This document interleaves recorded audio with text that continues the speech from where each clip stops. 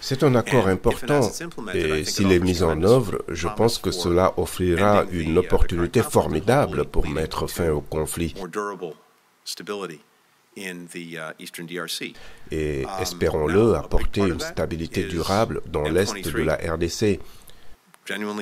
Une grande partie de cela dépend du retrait du M23 et nous attendons du Rwanda qu'il use de son influence sur le M23 afin d'encourager cela et de faire avancer les choses.